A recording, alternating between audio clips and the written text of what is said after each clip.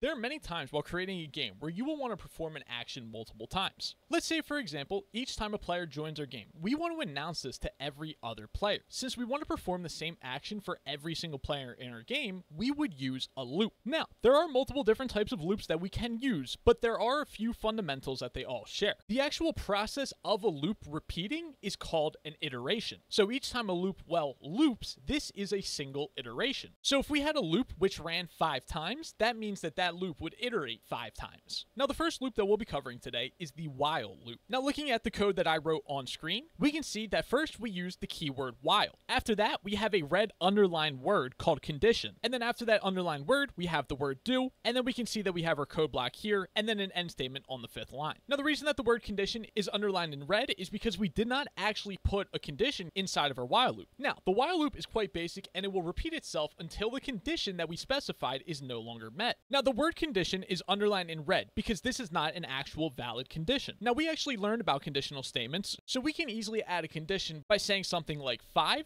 is greater than 1. So the actual condition of this while loop is that the number 5 is greater than the number 1, and since that condition is true, this while loop will repeat all of the code that's inside of its code block until this condition is no longer true. And considering 5 can never be a lower number than 1, this while loop will run infinitely. Now let's go ahead and insert some code inside of the code code block, so we'll use the print function and we'll just print the word yes. So now if we were to use this while loop, this while loop is actually going to run unlimitedly and it will never stop running because like I said, 5 can never be less than the number 1. Now let's say for example that we only want this while loop to run 5 times. Well, above our while loop, what we can actually do is create a variable called count and we can set the value of that to the number 0. Then what we could do is inside of our while loop, every single time the while loop iterates, we can increase the value of count by 1. And now let's update the condition of our while loop, and let's say that we want this to repeat while the count variable is less than the number 5. So now this while loop would run 5 times because every single time we're adding 1 to the count variable. Now, while loops are pretty simple, which is why we're covering these first, but also in my opinion, these are used a whole lot less than our other type. Now, the other type of loops that we're going to be talking about are for loops. Now, on screen, we can see two for loops. The first for loop is to help break down the actual anatomy of a for loop, while the second one is used to give you a visualization of what using an actual for loop looks like. So, in order to create a for loop, the first thing that we actually do is create a variable. And to create a variable, all we do is we actually put the name of the variable that we're creating right here. Normally, we name this variable i as that's short for the word index. We then use an equal sign to set the value of that variable, and the value that we'll set would actually be the start value for where this for loop actually begins at. So here, we start the for loop at the number 1. After that, we use a comma, and then we specify the end value. Now, the end value is what i actually has to reach for this for loop to stop. After that, we then use another comma, and then we specify the increase value. The increase value right here is 1, and what this value is, is how much the value of i is increased every single iteration. So this for loop would run a total of 5 times. It would begin at the number 1, and each iteration, the value of i would increase by 1. Once we've reached and gone through the fifth iteration of this for loop, it'll end because it's reached its end value. Now, if we wanted this loop to run 10 times, times, we can increase the end value to 10, leaving all the other values the same. Now, what if we only wanted this to run two times? We could set the start value to 5.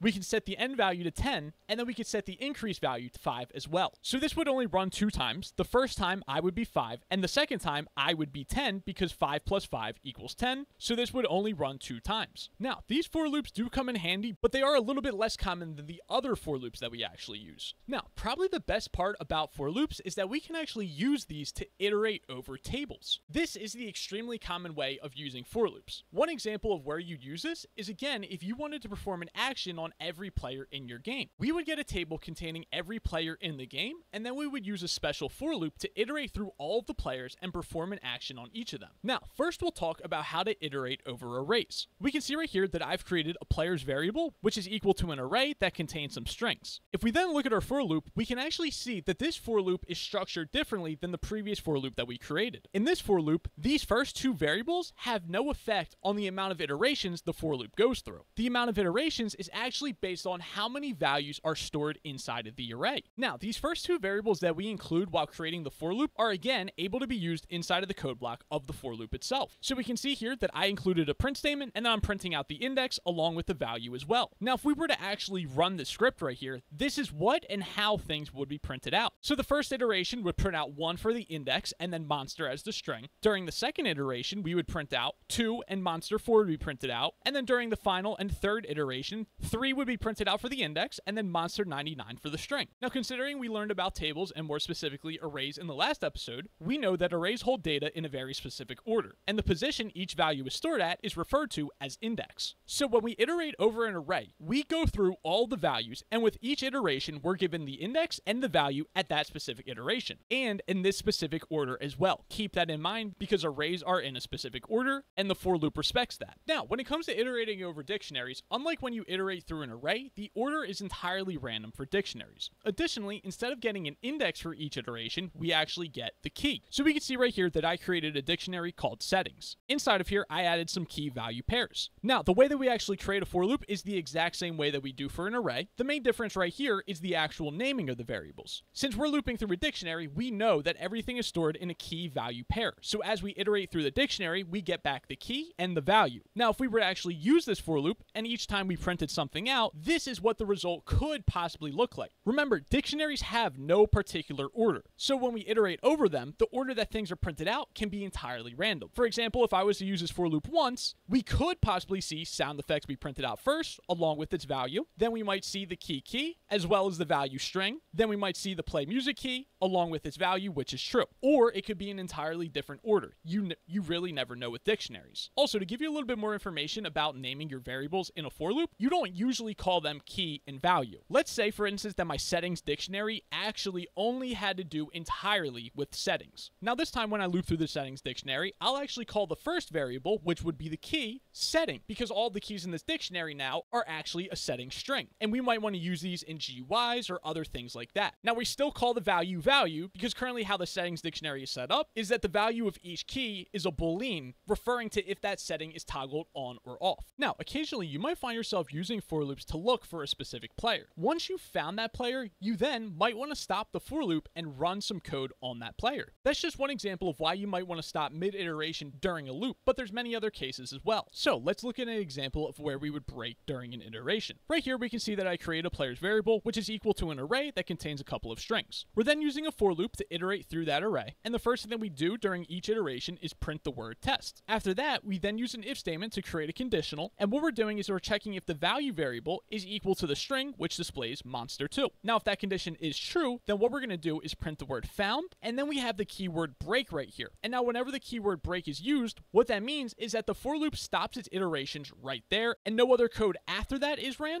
as well as no more iterations are ran neither. So we can see an example of what this would look like if this for loop actually did go through. Test would be printed one time, and since the first value in this array is actually monster and not monster2, nothing else will be printed. Then after that, the for loop will go again, this time at the second index. Once again, the first thing that it'll do is print test. Then after it prints test, this conditional statement right here is going to run. And since the second value inside of this array is monster2, which is the same string that we're looking for, found is going to be print, and then nothing after that is going to happen. Like I said, the reason that nothing after that's going to happen is because of the keyword break right here. Break basically tells the for loop to stop running entirely. Now, break isn't the only keyword that does this. You can also use the keyword return to do this as well. Now, here's another example of where breaking iteration might come in handy. Let's say, for instance, that we create a function called is special player. This function has one parameter called player name, and then we use a for loop to iterate through the player's array. Each time we iterate through, we're still printing the keyword test, but this time though, we have a conditional statement, and what we're doing is we're checking if the value equals the player name that was passed to this function. Now, if that condition is true, then we're again going to print the word found, but this time we're also going to return a value, which is true. We use the print function, and then we actually call this is special player function, and we're checking if the string monster2 is a special player. So now, if this function was actually ran, once again, test would be printed once, then it would be printed again. Now, this time, since the condition is actually true, found would be printed, and then this print statement right here would print true because that's the value that is returned from this function, and nothing else would happen because remember, whenever the keyword return or break is actually used, that for loop stops all iterations. Now, if we look at the function once again, we can see that we made one small change, and that is this condition right here. Right here, what we're doing is we're checking if the value is equal to this string right here, and the code that we actually run is just this continue keyword right here. So once again, if this function was actually used, this is what the output would look like. The first iteration of this loop, test will not actually be printed because this condition is true. And when the continue keyword is used, what this tells the for loop to do is not execute any of the code down here and instantly go to the next iteration, which would be monster 2. So now that we're iterating over monster 2, test is being printed, found is being printed, and then finally true is being printed as well. Now I'm not going to go too in depth with continue, but just know that this is how it can be used. It'll probably be a little while before you actually start using the continue statement inside of your for loops. Its usage is a lot more niche than say something like return or break. And with that being said, you should now have a fair understanding of a couple of different loops that we can use, as well as how to iterate through tables. As usual, if you have any questions, you can leave a comment down below, or feel free to join our Discord and ask your question in there. In the next episode, we'll begin talking about module scripts, which allow us to share code between multiple different scripts. And with that being said, I'll see you guys in the next episode.